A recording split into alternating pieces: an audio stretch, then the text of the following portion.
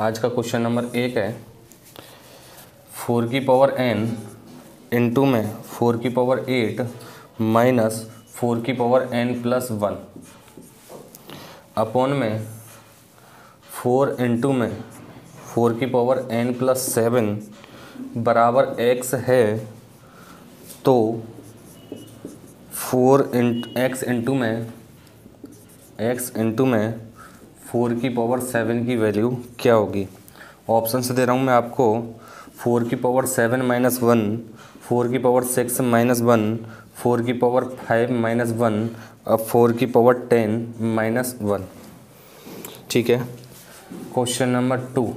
Question number two है, cube root three, cube root three into में three का cube divided by three की power minus three by two equals two three की power a plus one then well value of a a का मान क्या होगा? और इसके ऑप्शंस दे रहा हूँ आपको। तेईस बटे छः, दूसरा ऑप्शन है सत्ताईस बटे छः, तीसरा ऑप्शन है उनतीस बटे छः, और लास्ट ऑप्शन है नन ऑफ़ दिच ये दो क्वेश्चन है। चलिए। देखो। यहाँ पे x दिया हुआ है और x गुणा में चार की पावर सात की वैल्यू पूछ रहा है तुमसे, है ना? तो इसका मतलब क्या है भाई कि अपने पास में पहले से ही x गुणा में चार की पावर सात हो तो हमें कैलकुलेशन कम करनी पड़ेगी। तो इधर भी मैंने चार की पावर सात का मल्टीप्लाई कर दिया और इधर जब मल्टीप्लाई करोगे ना तो ब्रैकेट लगा के करना है। क्यों करना है? इसका मतलब ये है ए का मल्टीप्लाई करना है तो मैं बी माइनस सी से पूरे में करना है ना तो ब्रैकेट लगाना पड़ेगा। अगर ब्रैकेट नहीं लगाया तो तुमने ये रह गया क्वेश्चन इसका मतलब ए का मल्टीप्लाई किसमें रह गया? केवल बी में। गलत हो जाएगा, ठीक है? तो इसका मतलब चार की पावर सात का मल्टीप्लाई इधर कर दिया, चार की पावर सात का मल्टीप्लाई इधर कर दिया। अब जो प्लस और माइनस लगे हुए हैं ना, उनको खोल दो। कैसे? चार की पावर सात। चार की पावर एन इंटू में चार की पावर आठ माइनस देखो, घाते जुड़ती कब है? जब आधार समान होता है और गुणा के रूप में होती हैं। तो ये बन जाएगा चार की पावर एन गुणा में चार की पावर कितनी? एक।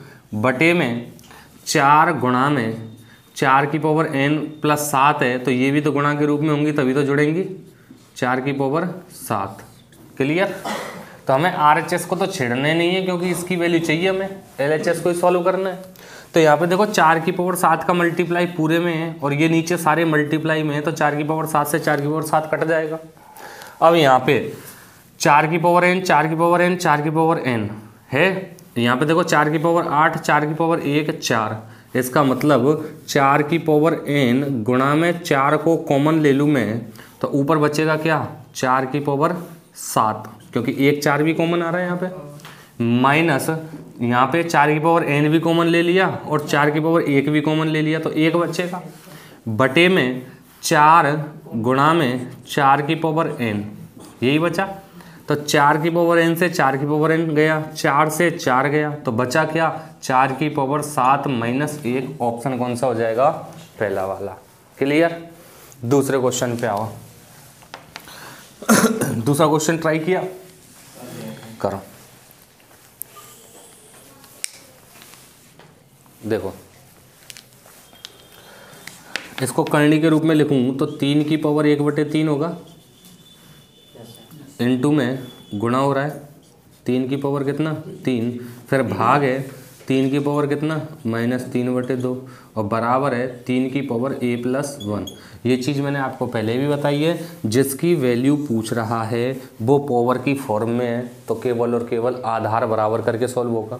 ठीक है? तो यहाँ से अब देखो, ये घाते तो जुड़ जाएँगी, ये ऊपर जाकर प्लस माइनस होगी तो माइनस तो पहले से ही है प्लस हो जाएगी। तो मैं डायरेक्टली लिख सकता हूँ इसको, तीन की पावर एक बटे तीन प्लस तीन, और ये माइनस तीन बटे दो प्लस का हो जाएगा तीन बटे दो, बराबर तीन की पावर ए प्लस वन यही बनेगा, ठीक है? तो ये बन जाएगा अपना एक बटे तीन प्लस दो प्लस एक प्लस तीन बटे दो बराबर ए प्लस वन। मैंने तीन को दो और एक में तोड़ दिया क्योंकि एक से एक काट दूँगा मैं सीधा। क्लियर? और जब इसको जोड़ोगे तो ए बराबर आ जाएगा अपने पास में तेईस बटे कितना? छः तो ऑप्शन हो जाएगा कौन सा? ए वाला। क्लियर? ये क्वेश्चन था। देखो भाई नेक्स्ट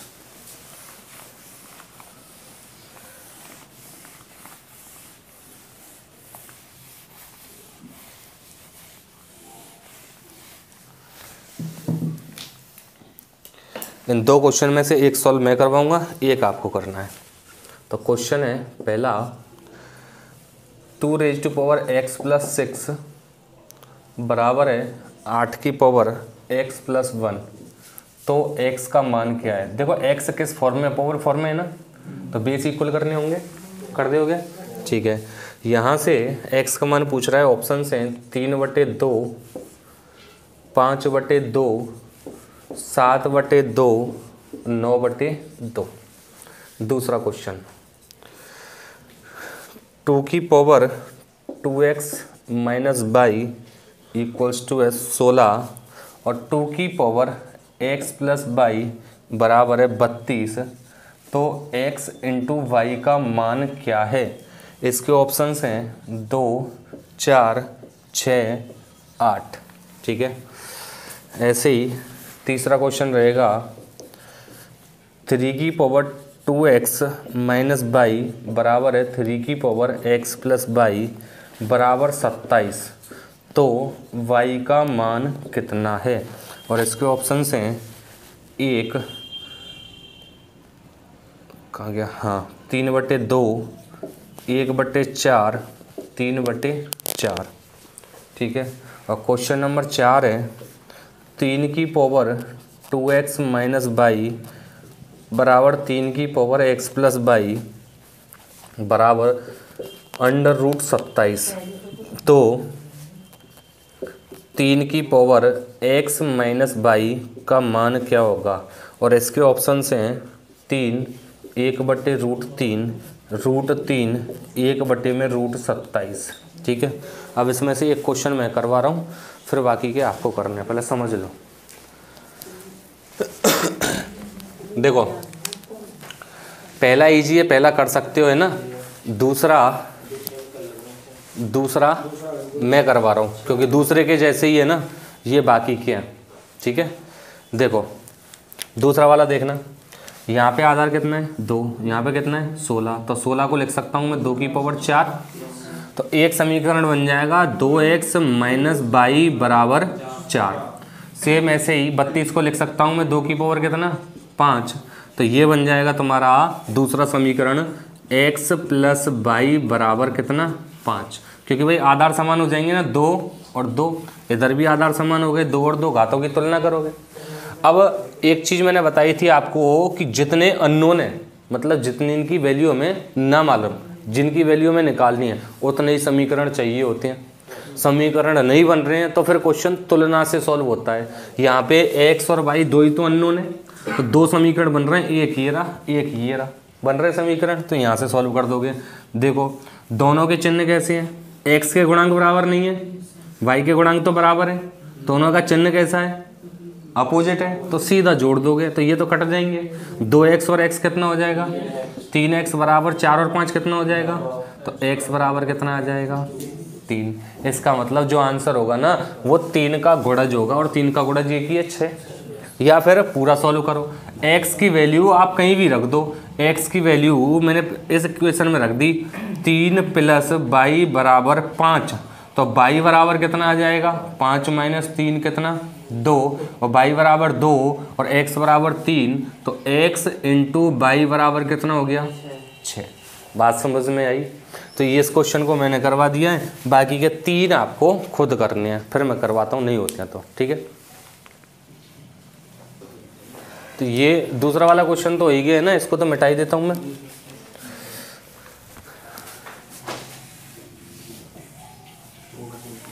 देखो क्वेश्चन नंबर तीन क्वेश्चन नंबर तीन बहुत ईजी है।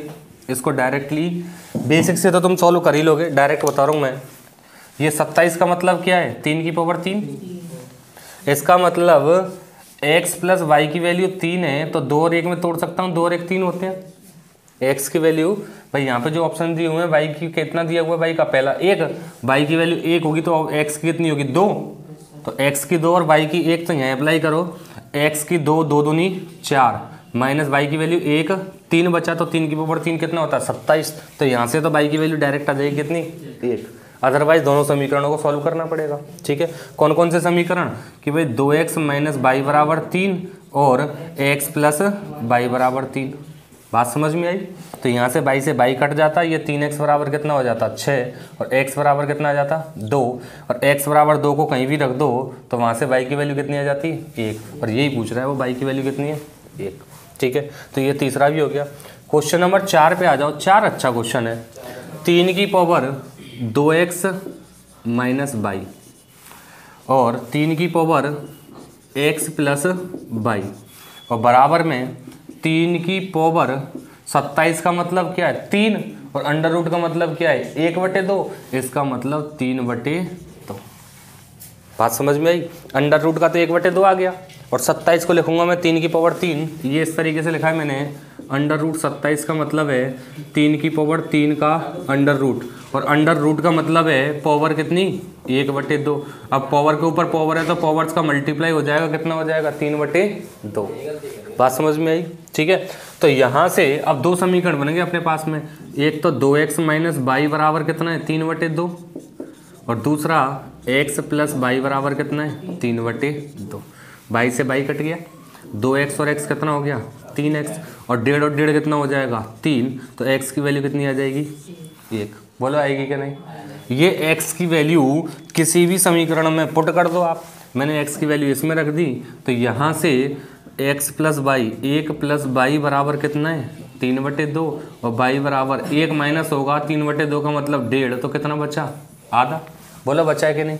और यहाँ पूछ रहा है वो तीन की पावर तीन की power x minus y x की वैल्यू कितनी आई है अपने पास में? एक। और बाई की वैल्यू कितनी है? एक बटे दो। तो एक माइनस एक बटे दो का मतलब कितना है? एक बटे दो। और तीन की पावर एक बटे दो का मतलब कितना है? अंडर रूट तीन। तो ऑप्शन हो जाएगा कौन सा? सी वाला। क्लियर पहला वाला तो कर ही लिया होगा। कि भाई दो की पावर एक्स प्लस छः बराबर, यहाँ दो की पावर तीन बनेगा और तीन का मल्टीप्लाई हो जाएगा। दो की पावर तीन एक्स प्लस तीन। तीन का मल्टीप्लाई होगा ना पूरे में तो एक्स प्लस छः बराबर किसके होगा? तीन एक्स प्लस तीन के। तो एक्स प्लस छः बराबर तीन एक्स प्लस तीन एक्स तो उधर जाके माइनस दो एक्स बचा, तीन इधर आके माइनस तीन बचा तो एक्स बराबर कितना आ गया? तीन बटे दो। ऑप्शन कौन सा हो जाएगा? पहला। क्लियर है? देखो भाई नेक्स्ट क्वेश्चन देखो। नेक्स्ट क्वेश्चन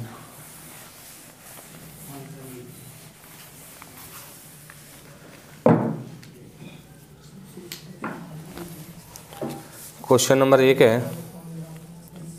चार की तीन की करनी चार, कोमा, दस की करनी छः।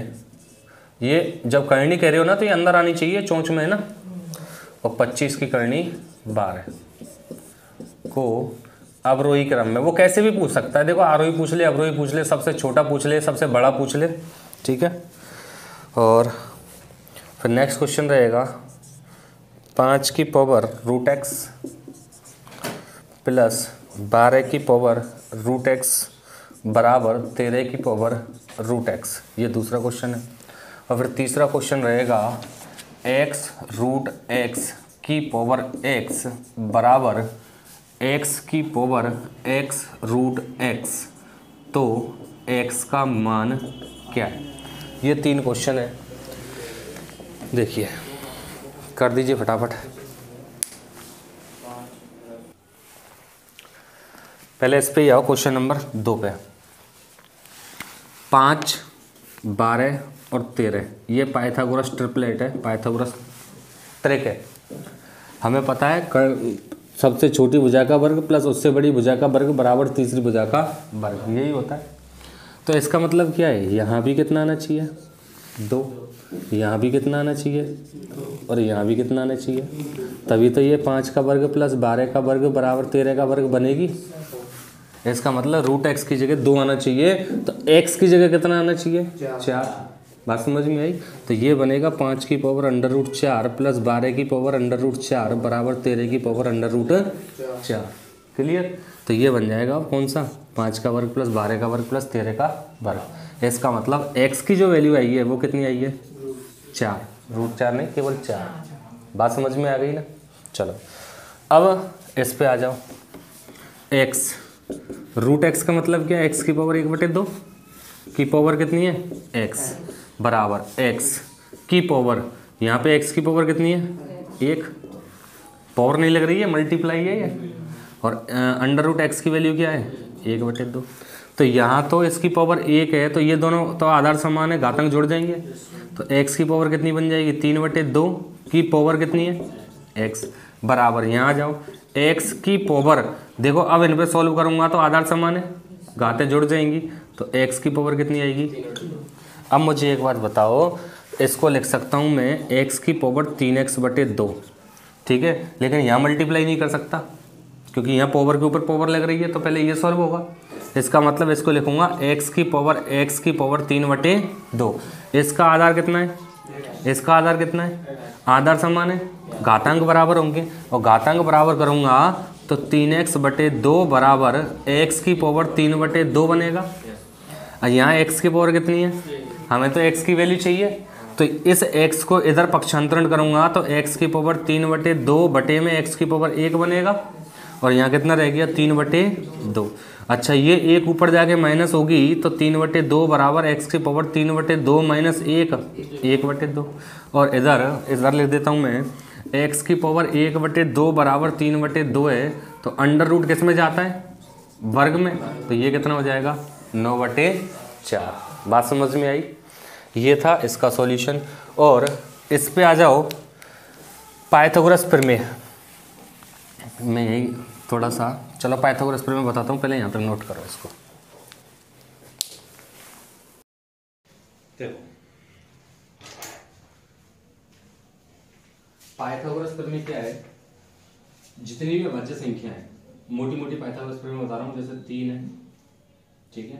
तो तीन तीन के बाद में पाँच है पाँच के बाद में सात है सात के बाद में ग्यारह है तेरह है सत्रह है ठीक है? इसमें जो तीन का वर्ग करो तीन का वर्ग कितना आएगा? नौ। नौ में दो का भाग दिया कितना आया? चार पॉइंट पाँच। तो एक बार तो पॉइंट पाँच घटा दो और एक बार पॉइंट पाँच जोड़ दो तो ये हो जाएगा कितना? पाँच। तो तीन चार और पाँच की पाइथागोरस में बन जाती है। बात समझ में आई? अब इसी से तीन चार पाँच से पाइथागोरस में और बनेंगे। तीन का दो गुना छह चार का दो गुना आठ पाँच का दो गुना दस। मतलब दो का मल्टीप्लाई कर दिया सब में इसमें तीन का मल्टीप्लाई कर दो तीन तिया नौ तीन चौक बारह तीन पंजे पंद्रह ये भी पैथागोरस प्रमेय होती है। इसमें चार का मल्टीप्लाई कर दो तीन चौक बारह चार चौक सोलह चार पंजे बीस ये भी पैथागोरस प्रमेय होती है। तो एक पाइथागोरस प्रमेय से अनंत पाइथागोरस प्रमेय बनाई जा सकती है। ठीक है? बाकी जो बेसिक बेसिक है वही है। पाँच का वर्ग कितना हुआ? पच्चीस। पच्चीस। में भाग दूँगा मैं दो का कितना आएगा? बारह पॉइंट पाँच। तो पॉइंट पाँच घटा दो बारह। और पॉइंट पाँच जोड़ दो तेरह। तो पाँच बारह तेरह की पाइथागोरस प्रमेय बनती है। अब पाँच बारह तेरह बेसिक है। दो का मल्टीप्लाई कर दो दस, चौबीस, छब्बीस। ये भी पाइथागोरस प्रमेय तीन का मल्टीप्लाई कर दो पंद्रह, छत्तीस, उनतालीस। ये भी पाइथागोरस प्रमेय बात समझ में आई यहाँ पे सात का वर्ग कितना होता है? उनचास। उनचास में दो का भाग दूँगा, चौबीस पॉइंट पाँच। तो इसका मतलब क्या है? सात, चौबीस और पच्चीस की पाइथागोरस प्रमेय बन जाएगी। ठीक है? ग्यारह का वर्ग कितना होता है? एक सौ इक्कीस बटे दो कितना आ जाएगा? साठ पॉइंट पाँच। तो ये बन जाएगा तुम्हारा साठ और इकसठ की पाइथागोरस बात समझ में? इस तरीके से ये पाइथागोरस प्रमेय बनाई जा सकती है। अब रह गया ये वाला क्वेश्चन तो इस टाइप का क्वेश्चन आगे करेंगे हम कल। क्लियर